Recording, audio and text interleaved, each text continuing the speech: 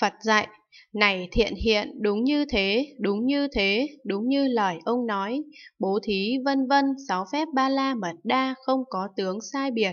Nếu không có bát nhã ba la mật đa thì bố thí vân vân năm pháp chẳng được gọi là ba la mật đa, cần nhờ bát nhã ba la mật đa mà bố thí vân vân năm pháp mới được gọi là ba la mật đa. Do vì năm ba la mật đa trước này đều thâu gồm trong bát nhã ba la mật đa nên chỉ có một ba la mật đa, đó là bát nhã ba la mật đa. Vì vậy, tất cả ba la mật đa không có tướng sai biệt.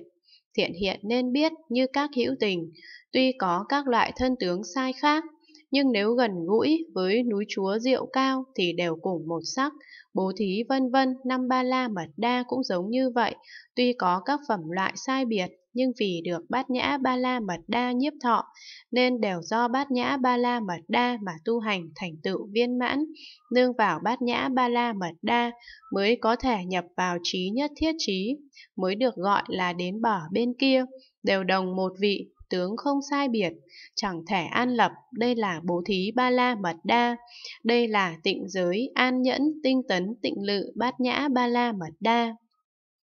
Vì sao? Này thiện hiện, vì sáu phép ba la mật đa như thế có thể cùng hướng nhập trí nhất thiết trí, có thể đến bờ bên kia tướng không sai biệt. Do nhân duyên ấy, bố thí vân vân sáu phép ba la mật đa, không có tướng sai biệt.